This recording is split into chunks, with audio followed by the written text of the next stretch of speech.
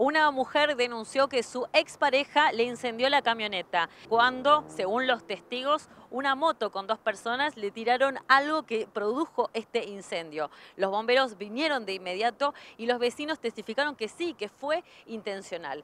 La mujer hizo la denuncia y además ratificó de que es víctima de violencia de género, de que su expareja la amenaza, que no le deja ver a su hijo menor de edad y está en una situación de riesgo Inclusive tiene una perimetral, pero hasta ahora no ha pasado absolutamente nada. Pide justicia y que no pase nunca más.